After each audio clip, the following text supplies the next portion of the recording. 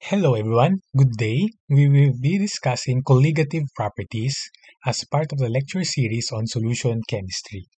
So let's start by discussing our intended learning outcomes.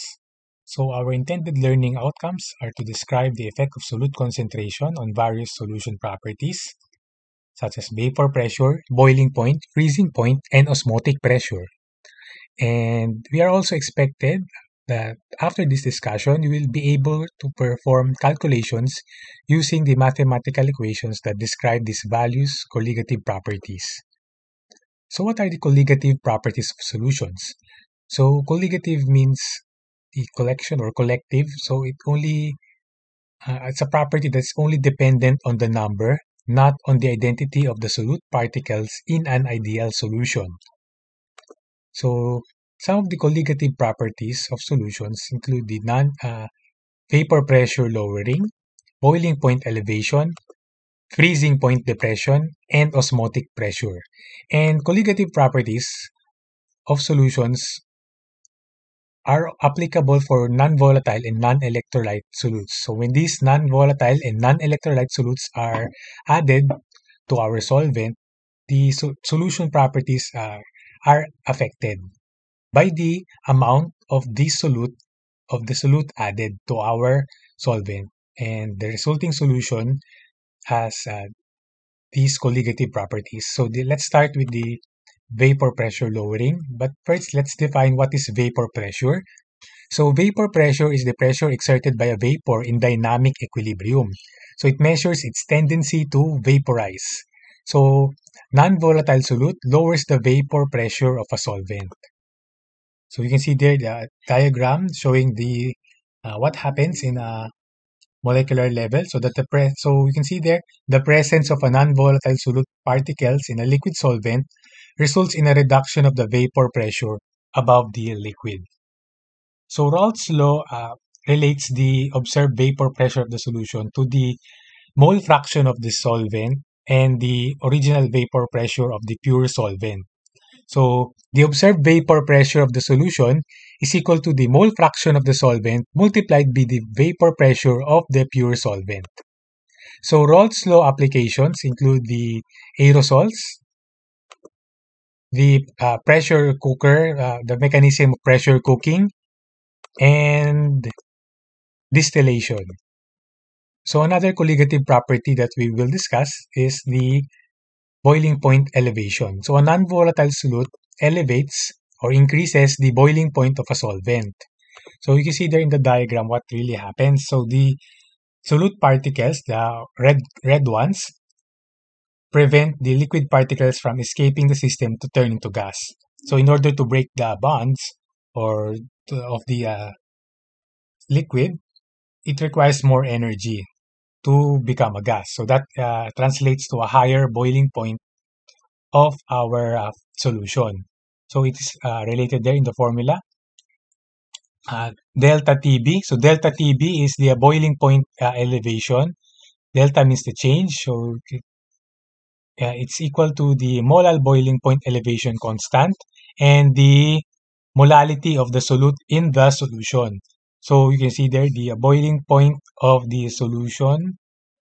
Uh, the change in boiling point in the solution is equal to the boiling point of the solution minus the uh, boiling point of the pure solvent. So that's how it's related. But usually we are only uh, looking for this uh, the value of uh, the change itself, so the delta TB value. So what are the real life examples and applications of boiling point application? So cooking or make to tenderize meat, uh, making candy and coolants uh, added to uh, automobiles. So another colligative property that we will discuss is the uh, freezing point depression or lowering. So when a solute is dissolved in a solvent, the freezing point of the solution is lower than that of pure solvent. So this time we are looking for the depression or the decrease in the freezing point, the lowering, and it's also related to the to the uh, following to the constant, the molar freezing point depression constant, and the uh, molality of the solute in the solution. So the diagram there on the left shows that the particles in red, the solute, they cannot uh, immediately shift into the liquid, liquid phase at the normal freezing point temperature because the solute particles block movement from the solid phase to the liquid phase. So real-life examples and applications of freezing point depression include uh, antifreeze, the concept of antifreeze, and even salt treatment of icy roads during uh, winter, and ice cream making.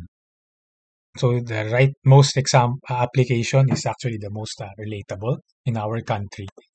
So so far, what other applications can you think of? So we have already discussed the increase in boiling point and the lowering of the uh, freezing point. So another colligative property that we will discuss is the osmotic pressure. So osmosis is the flow of solvent into the solution through a semi-permeable membrane.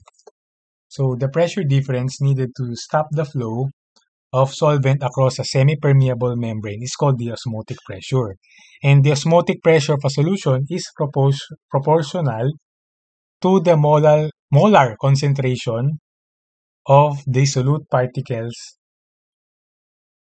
in the solution.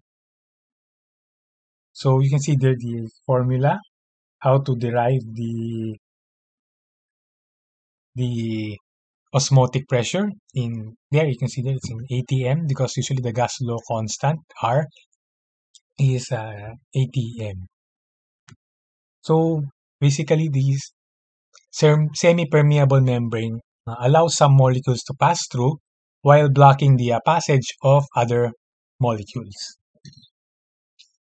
So the the formula there is actually quite easy to remember. It's mrt M is the molarity of the solution, R is the gas law constant, and T is the temperature in Kelvin.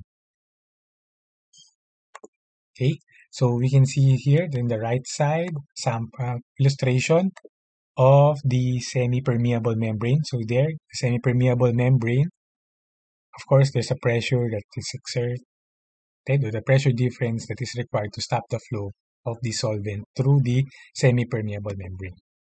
So what are the real life examples of osmotic pressure? So it's the pruned fingers, and even in snails and slugs, their mobility, and plant roots. So in summary, colligative properties depend only on the number of solute particles present, not on the identity of the solute particles.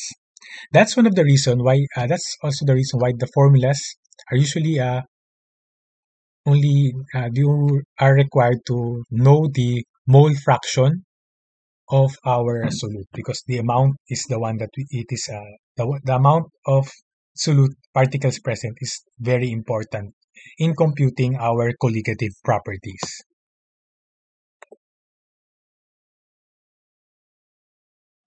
So that would be the concepts for colligative properties.